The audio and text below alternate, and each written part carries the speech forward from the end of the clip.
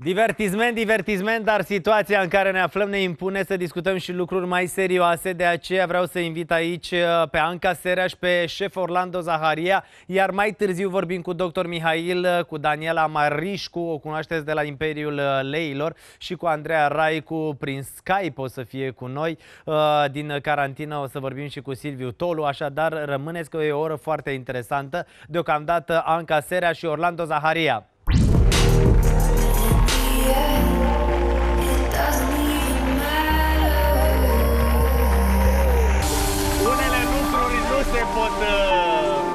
Evita, e schimba. Da, vă rog frumos să luați uh, un loc, uh, oameni buni.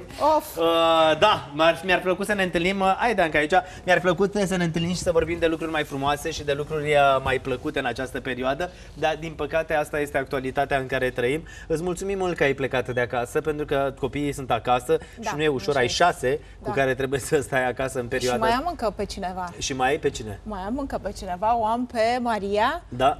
fetița colegii voastre. Ana, Ana Vladislav, da. am înțeles bucurat deci, de compania ei pentru că șapte. este foarte drăguță. Uh, da, mă rog, Ava este la mama zilele astea pentru da. că am avut, uh, am ținut musai să ca mama să stea în casă pentru că are și ceva probleme, probleme pulmonare, da, și Asta e situația. Te sperie pe uh, ce se întâmplă la ora actuală? Am văzut și la tine pe Instagram recunosc... o fotografie unde era Moise în parc, dacă nu mă da, înșel, da, nu? Da, da. Și spuneai am că te bucuri totuși ei, de soare, dar, dar uh, cu Da, precauție. pentru că din păcate se plictisesc foarte tare în casă și nu avem ce să facem, dar uh, am evitat de duminică să-i mai scoatem oriunde, adică în, în locuri da, aglomerate. Da, da, da. Nu, nu, efectiv nu i-am scos din cartier sau am stat doar în curte și în parculețul care este în spatele casei noastre, dar da, trebuie să recunosc că din păcate dacă la început nu mă speria semn deloc, adică gândul meu era că doar este o manipulare, din păcate, în masă. Acum am început să tratăm lucrurile chiar cu seriozitate și, de ce nu, cu simț civic, pentru că Cred îți e că... frică pentru copii, îți e frică pentru tine Sincer, da. și copiilor cum le explici? Pentru că au înțeles, Moise... să știi că foarte au bine înțeles? au înțeles, Cătălin, da, au înțeles, le-am spus niște reguli pe care trebuie să le respecte și asta este, adică clar, cele de alimentație, regulile de igienă, că nu mai avem practic voie să ieșim afară aproape deloc. Asta Le-a fost greu probabil să înțeleagă da, la vârsta lor, dar foarte tare, în deci același tare timp acestea sunt măsurile pe care trebuie să da, le respectăm încercăm cu să le găsim niște activități care să-i ținem ocupați, dar nu întotdeauna ne iese și asta e. Din păcate, ce să facem? Asta e situația. Da, dar e, uite, e interesant că, că să... sunt și vești bune în această perioadă. Ieri China a avut mai puține cazuri decât a da, avut da, da, uh, Italia. România. Și România, Da, cred. și Italia. În Italia e, da. ferească Dumnezeu, dezastru. Uh, șef, în perioada asta e greu pentru afaceri. Este, este foarte și greu. Și vorbim de o perioadă de maximum o săptămână de când a început nebunia la noi. Da, și lucrurile vin într-o avalanșă foarte mare și greu de stopat.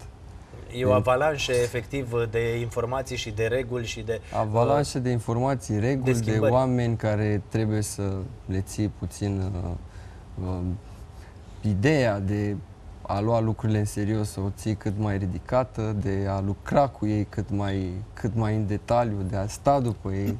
Tu ești unul dintre cei mai cunoscuți și cei mai buni șefi, Orlando Zaharia. Toată lumea știe lucrurile pe care le-ai făcut uh, și lucrurile pe care le faci și ești unul dintre șefii de top ai României. Și asta vreau să te întreb. În perioada asta simți că e totul așa diminuat în ceea ce privește și activitatea ta? Da, este foarte diminuat și diminuarea asta vine de la o zi la alta, nu de la o săptămână la alta sau de la o lună la alta. Chiar se vede și în uh, vânzări și numărul clienților care ne intră în uh, locații care pot să spun nu? în restaurante care au nu știu, au scăzut cu 70%, adică e ceva foarte, foarte, foarte grav. E greu să-ți păstrezi echipa în perioada asta, nu? Este greu să păstrezi cumpătul echipei, este greu să-ți păstrezi echipa să nu ia un pic uh, razna. razna, să nu înțeleagă lucruri greșite. Încercăm să ne implicăm în tot ce înseamnă educația lor și în tot ce înseamnă bunul de mers al lucrurilor la muncă, pentru că până la urmă lucrăm cu oamenii pentru oameni și riscul este destul de, de mare. Na, exact, Anca, tu spuneai ceva mai devreme că se plictisesc copiii acasă, știu și eu asta, și eu doi copii și vor afară, nu înțeleg uh, totuși, dar de ce nu putem uh, să mergem Da, uh, cred că e la foarte un loc important de joacă? să le explicăm prin ce uh-huh. trecem. Practic, dacă, Noi chiar facem dacă vrem challenge-uri sau acasă nu vrem, și știi? mi se pare foarte tare chestia Da, asta. Haideți da. să vedem care se spală, spală mai mult, bine și mai corect da, pe mai mâini, mult da. pe mâini, care se spală odată la 20 de minute Da. uh, pe mâini, pentru că așa poți să-i bagi în tot Da, felul de practic jocuri noi și suntem în tot niște felul de exemple activități. pentru ei și vreau să spun că scriem cumva niște pagini de istorie mai puțin fericită, dar uh, asta e, trecem cu toții prin, uh, prin vremurile astea și trebuie să le tratăm, cred că, cu maximă seriozitate și așa um, cu maximă implicare, cam așa văd eu lucrurile, pentru că dacă noi nu stăm cu minți în casă, nu mă respectăm Da. niște reguli, practic, poate nu noi am fi cei predispuși sau poate nu noi suntem purtătorii de un virus, de un anumit tip, dar trebuie să ne gândim și la ceilalți. Pandemia înseamnă practic uh, izolare pentru că este pandemie la nivel mondial. Da. În 2009 a fost uh, ultima, Ultima, da. pandemie când a fost virusul uh, N1H1, iar uh, pandemia fiind uh, la nivel mondial, există statistici care spun că dacă am stat peste 20 de zile în casă, am reușit oarecum să limităm destul de mult uh, această răspândire a virusului, Da, ceea ce e rapidă. foarte greu. Da. Adi ce face? Exact. Pentru că el avea concerte și în Adi, străinătate. m, Din păcate și lui s-au anulat, dar oricum, chiar dacă nu i se l-a anulat, o avea parcă în India și în Pakistan și oricum a decis să nu mai meargă. Stăm, noi nu prea am ieșit, Cătălina, am ieșit așa pe rând, doar când a fost uh, musai necesar, ba el, ba, ba eu. Copiii ți-am spus de duminică, nu i-am mai scos deloc, la fel am limitat accesul persoanelor uh, la noi în casă, adică nu mai intră aproape nimeni, nici mama n-a venit să ne viziteze și încercăm să facem ceva... Provizii? Uh, n-am făcut, am făcut aseară o mică parte, dar nu cred că Nu pentru o sincer, perioadă foarte... Sincer, partea asta alimentară mă preocupă cel mai puțin, pentru că nu cred, adică m-am Nu, interesat m-am și gândit că ai șase stocurile din copii România... și da, dacă da, da, da. ferească Dumnezeu da. nu mai poți să Am ieși din vorbit cu casă. cineva și stocurile din România totuși ne-ar ajunge pentru următoarele șase luni dacă oamenii n-ar cumpăra în mod abuziv. Până Mm. și aici e cumva, știi, ar, tri- ar trebui să, nu știu, părerea mea, să cumpărăm cu cap. Măsură. Și La cu tine, măsură. șef, cum observi treaba asta? Am înțeles că în perioada asta te gândești la un proiect pentru mâncare pentru acasă? Mm, Este deja lansat un proiect de, este a doua săptămână, un proiect de mâncare pentru acasă, m- mâncare care este gătită din punct de vedere uh, al siguranței alimentare foarte corect, răcită rapid, m, sigilată cu gaz, are un termen de șapte zile, nu se folosesc decât ingrediente naturale, deci se poate. Iar povestea asta i-ai adaptat-o ținând cont de ce se întâmplă, nu?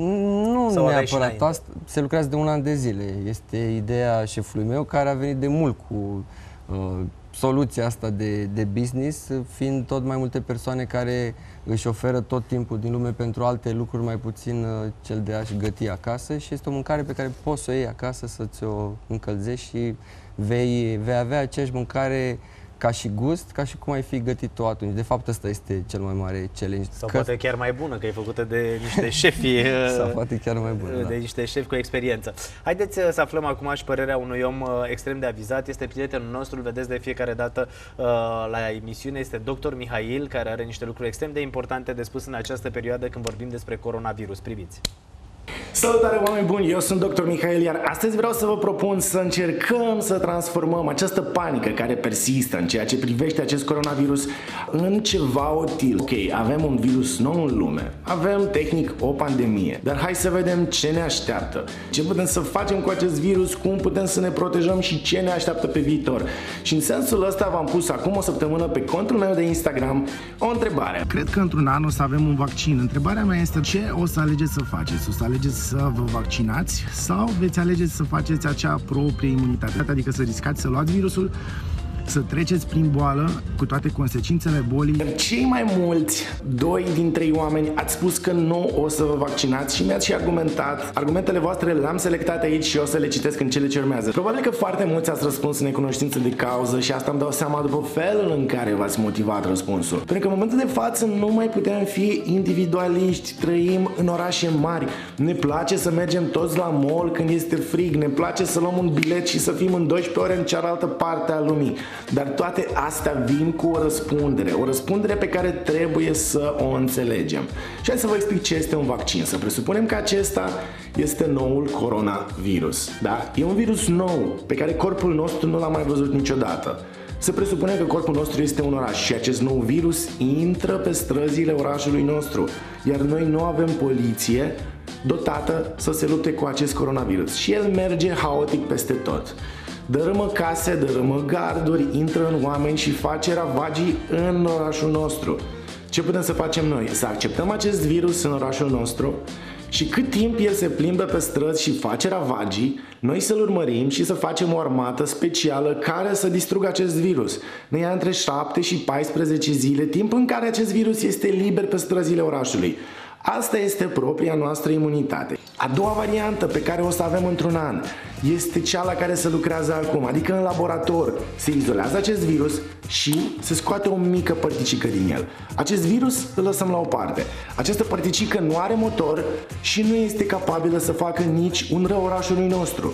Și aducem în orașul nostru această roată și o dăm tuturor polițiștilor de pe străzi să o vadă, să o pipuie și să facă propriile strategii în așa fel încât să poată lupta cu virusul respectiv. Ăsta este vaccinul. Data viitoare, după ce ne-am vaccinat și acest virus intră în oraș, poliția recunoaște aceste roți și are din start armele necesare pentru a anihila și a elimina acest virus din organism imediat cum el a intrat. Pentru a avea o imunitate bună, trebuie să dormim bine, să facem sport, să mâncăm, dar există imunitate specifică. Imunitate specifică pentru chestii noi pe care corpul nu are cum să le facă decât dacă intră în contact cu acest virus sau dacă ne vaccinăm. Anticorpii pe care îi face corpul cu vaccinul și cu boală sunt aceiași. Singura diferență este că boala te îmbolnăvește. Hai să spun care sunt bolile împotriva cărora organismul nu poate să lupte fără ajutor de afară. Virusul HIV, pentru care încă nu avem vaccin, dar pentru care avem tratament antiretroviral. În momentul în care ai luat acest virus,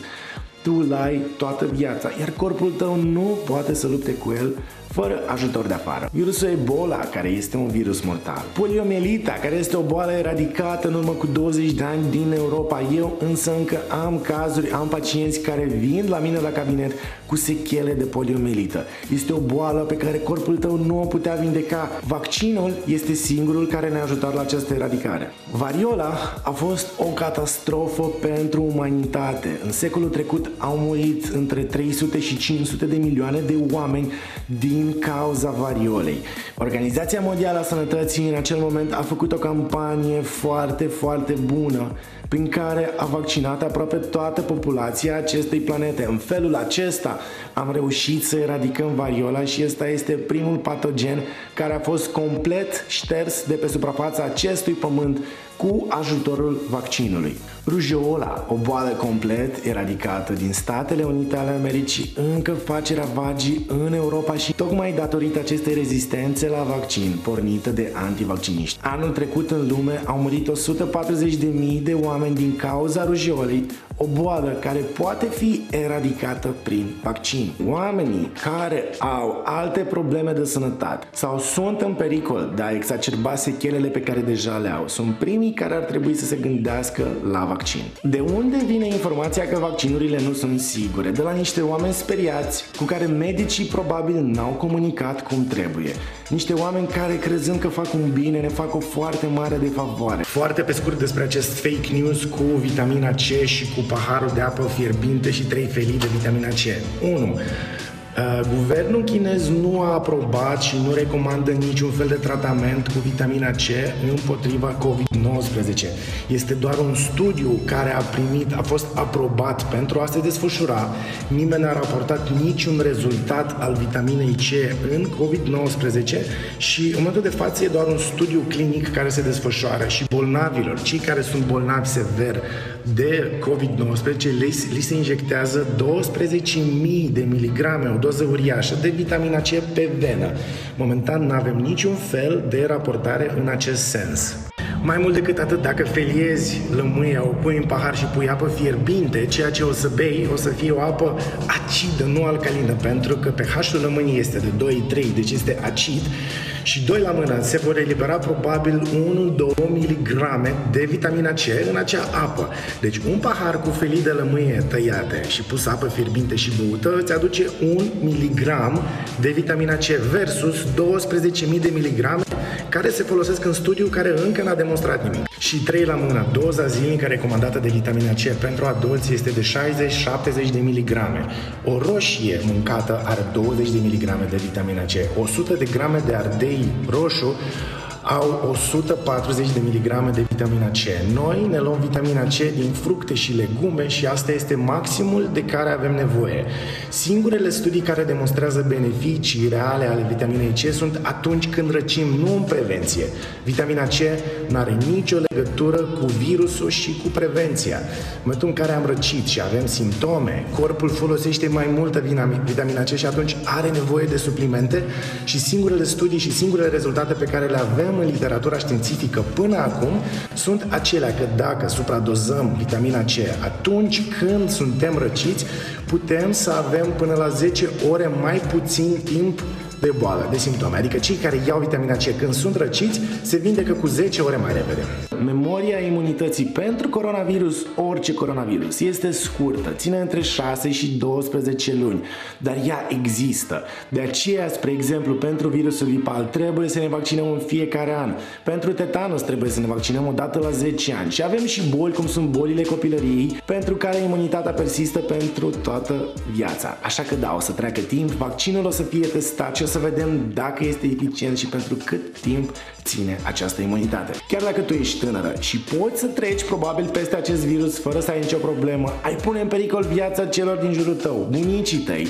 Dacă te vaccinezi, tu practic devii un filtru, devii un zid de protecție între virus și bunicii tăi și în felul acesta îi protejezi. Vaccinarea nu înseamnă că nu o să răcești iarna. Vaccinarea înseamnă că nu o să faci acea tulpină de gripă, adică eviți cel puțin o răceală care poate să fie mai gravă. Înțeleg frica și dezinformarea, dar fix ăsta este punctul în care ne aflăm. Și de aici trebuie să începem cu educație. Ar fi mult mai bine să vă informați din surse verificate și să învățați ce este un virus, ce boli au fost eradicate sau sunt în curs de eradicare în toată lumea cu ajutorul vaccinurilor și să fiți împăcați și pregătiți mental să luați cea mai bună decizie pentru voi. Aveți grijă de voi. Pe curând! Doctor Mihail, oameni buni, puteți să-l găsiți și pe YouTube, puteți să-l găsiți și pe Instagram și pe Facebook. Mihail Pautov este prietenul emisiunii noastre și de fiecare dată uh, ne trimite materiale, vine în platou emisiunii. A apărut în ultima perioadă isteria asta, consumați vitamina C, pentru că vitamina C vă ajută. Au apărut, uh, iată, sfaturile medicului și sfaturile medicilor care spun că nu te ajută la absolut nimic vitamina C, din potrivă.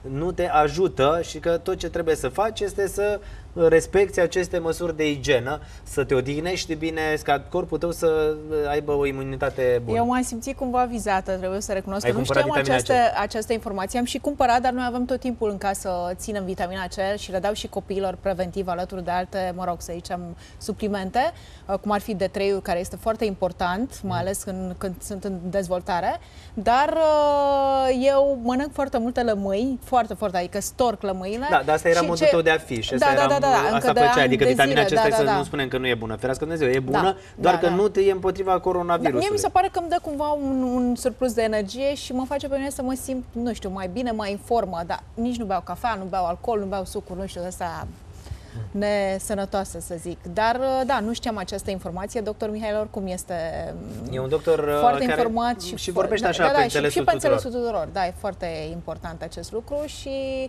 dar da, am cumpărat multe suplimente în perioada asta. Da, pentru că toată lumea își caută să-și facă provizii și să încerce să se securizeze într-un fel uh, da, zilele acționăm, care acționăm din impuls de, de multe ori, fără să stăm poate de Cu toate că mai multă vitamina C și... găsești în pătrunjel și da, în brocoli. Da, Mâncare, da, cred da. că o salată pe zi nu, uite, poți să ne spună șef, corect, da. nu? Salată, legume sunt și sunt mult mai repede absorbite de organism decât uh, cele da, pe cele care artificiale sau obținute. Da, da, e clar, adică, uite, spus și de medici, vitamina C nu vindecă uh, sau nu ține la depărtare COVID-19.